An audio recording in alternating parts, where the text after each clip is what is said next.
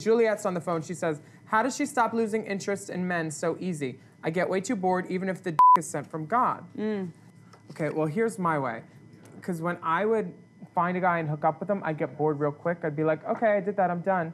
You have to like find ways to interest yourself more. Like maybe don't on the first date, just suck his so then you know there's that waiting if you really do like them. You should write children's books.